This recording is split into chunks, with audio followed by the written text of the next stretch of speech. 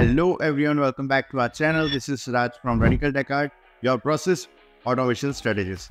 In today's video, we are answering a key question every engineer, technician or buyer asks.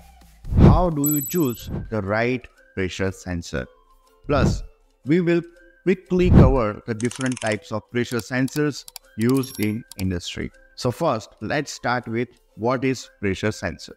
A pressure sensor is the device that sends pressure in gases or liquids and converts it into an electrical signal. It's essential for monitoring, control, and safety in all process industries. Now, we will cover common types of pressure sensors. Here are the most common types you will come across. First, let's start with strain gauge. Uses diaphragm deformation, ideal for static and long-term pressure monitoring. Second is piezoelectric generates charge when stressed, based for dynamic high-speed pressure changes. And third one is capacitive pressure sensor. Measures pressure via change in capacitance. This is sensitive, used in low pressure application. And fourth one is optical pressure sensor. Uses light and fiber optics to measure the optical pressure sensor. Good for harsh environments and explosion prone areas. Fifth one is MEMS micro electromechanical systems. It is very compact and integrated sensor common in HVAC, automotive and portable devices. Now we will cover how to choose the right pressure sensor for your application from above all the different parts. Choosing the right sensor depends on your application needs. Ask yourself this question before you buy pressure sensor. First one is what is the pressure range? Low, medium or high pressure range? Which one you are going to measure? Second is static or dynamic pressure.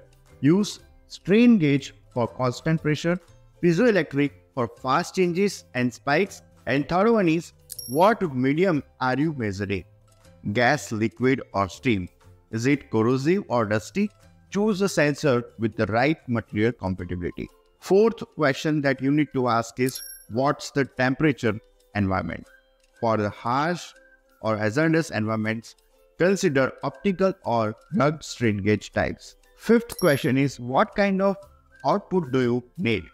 If you need analog output like 4 to 20 milliampere or 0 to 10 volt or digital outputs like Modbus or CAN. Sixth one is budget versus accuracy. Strain gauge sensors are generally cost effective with high accuracy where piezoelectric and optical sensors are most expensive used for special tasks. Now we will cover some real-world use cases. In water treatment plants, strain gauge sensor monitors pump pressure. Second is engine test bench. Piezoelectric sensor captures high-speed combustion pressure. In clean rooms, MEMS or capacitive sensor maintains precise air pressure. Remember, your sensor is only as good as its match with the application. Still unsure which one you need to choose, then reach out to our expert team at radicaltechmart.com. We will help you to select the best fit for your process. If you like this video, please like, share and subscribe our YouTube channel. Thank you so much for watching. See you all in my next video.